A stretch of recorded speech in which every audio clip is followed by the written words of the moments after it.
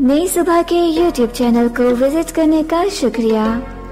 मजीद मालूमती मवाद के लिए सब्सक्राइब कीजिए हमारा YouTube चैनल या विज़िट कीजिए हमारी website www.naisubha.org n a i s u b a h dot o r g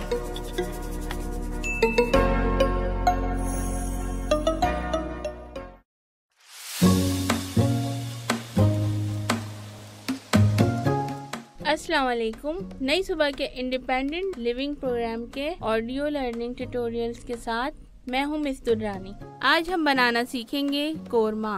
korma बनाने के लिए हमें जिन अज्जा की ज़रूरत है, उनमें शामिल हैं चिकन आधा किलो, तेल एक कप, दही एक पाव, प्याज बारीक कटी हुई डेढ़ पाव, पिसा हुआ खोपरा वन टेबल स्पून छिले हुए बादाम वन टेबल स्पून दालचीनी के टुकड़े, दो अदद, काली मिर्च, आठ अदद, लौंग, चार अदद, बड़ी इलायची, एक अदद, छोटी इलायची, दो अदद, जीरा वन टेबल स्पून तेज पत्ता एक अदद, लहसुन अदरक का पेस्ट वन टेबल स्पून पिसा हुआ गरम मसाला वन टीस्पून हल्दी हाफ़ टी स्पून पिसी लाल मिर्च वन टेबल स्पून पिसा धनिया थ्री टेबल स्पून नमक वन टेबल स्पून जायफल जावित्री पाउडर, एक चुटकी, केवड़ा, वन टेबल स्पून।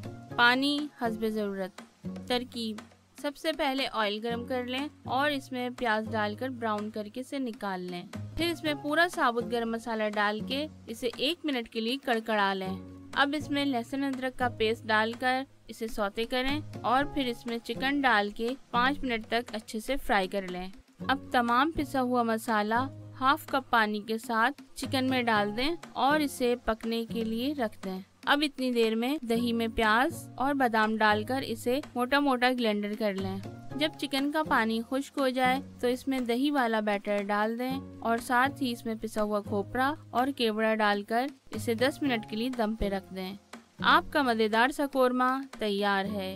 ये थी हमारी आज की रेसिपी। अगली रेसिपी में फिर मुलाकात होगी। तब तक के लिए अल्लाह हाफिज़।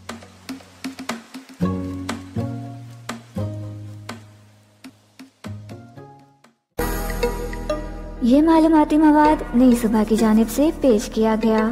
अपनी आरा के इजहार के लिए कमेंट कीजिए या डिस्क्रिप्शन में दिए गए रबते के जराये इस्तेमाल कीजिए।